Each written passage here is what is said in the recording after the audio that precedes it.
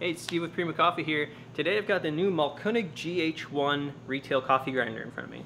Now this is a fairly no frills kind of grinder. It's mainly meant for retail use, so if you're grinding bags of coffee for your customers or uh, larger bags for shop use, that sort of thing, that's really where this grinder is going to excel. So it'd be a perfect grinder to have in the shop for, you know, whenever your customers are buying a retail bag of your coffee and they like it ground for home, you can throw it in this guy and it'll take care of it in a real quick jiffy. Now up top we've got a 4.4 pound hopper uh, with this nice big plexiglass door. Uh, we have a finger guard on the inside, um, but plenty of room in here to dump you know, a very large bag of coffee in if you want to do, maybe you're doing a large batch of cold brew and you need to ground pretty quick.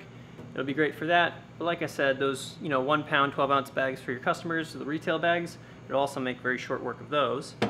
Uh, we have a three stage switch up here. It has an off and on and a run setting, and You'll notice it's basically in the on position right now. The off locks, the on locks, and then the run is actually a, a momentary switch, so it's spring loaded. Um, in order to have the run sort of kick on, you need to have a bag locked onto the chute because there's a, a little depressor bar uh, in the back, so it needs that bag to push the bar and let it know to run, and the grinder will run as long as that bar is depressed. Um, so that's convenient because that means once you're done grinding, you can just pull the bag off and the grinder will shut itself off for you. Uh, now we have a nice big dial on the front. Uh, you'll notice that I have two distinct sets of settings, and that's because there are two detent plates that you can use with this grinder. Um, they're labeled here as self-serve and professional. The black one is self-serve, the blue inner ring is professional. Now there are nine settings for the self-serve detent plate, and that's what we have installed here.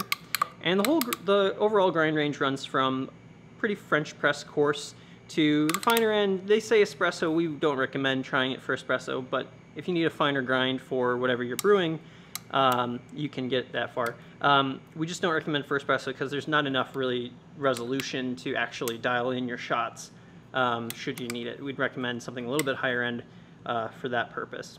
Um, but there is a spare detent plate um, to get those extra eight, uh, well, up to 18 settings for the professional range. So should you need a little bit more resolution, you know, say you find yourself between a five and a six while you're grinding coffee for your batch brews or something like that, um, you can get that extra resolution with that second plate, which is very easy to install. You just take the handle off and you install it in the back of the handle. Uh, down below, like I said, there's this uh, basically bag clamp style chute. Uh, it does have the depressor bar and there's a nice snug fit back here, so all you really need to do is shove the bag up and it'll be held in place whether it's uh, a retail bag or a larger wholesale style or maybe just a five pound bag, like I said, if you're doing cold brew or something like that.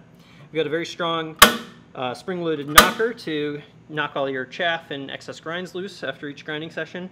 And then we also have a front plate that's adjustable and you can loosen or tighten these screws as needed uh, so you can get a nice wide spout or more shallow, narrow one, uh, depending on what your needs may be. Also very helpful when you need to get a brush up under there and brush it out and clean it.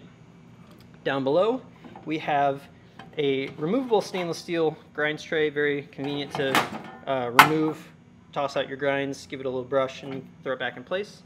Um, now back up here, we have 85 millimeter flat steel burrs. They're very big burrs. Um, they spin at pretty high RPMs, and we have a 550 watt motor behind it. So you're talking about maybe one to two pounds a minute at the maximum. At those finer settings, you're probably maybe a, a half pound uh, per minute. But in that drip range, we're looking at pretty a pretty good one pound per minute average. Um, our experience is that you probably get maybe a pound and a half on the coarser end, uh, depending on the coffees that you're using.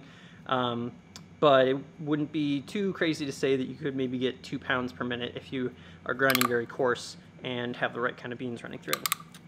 Um, also included with this grinder is an accessory kit. You get uh, a couple of screwdrivers and a brush in here, and then also, like I said, these detent plates. So this is the professional detent plate. This has 18 detent um, holes. Uh, and as I said, all you really need to do is take off this handle and you can reinstall uh, this plate instead of the self-serve or vice versa as needed. And you have all the tools you need to do that included with the grinder.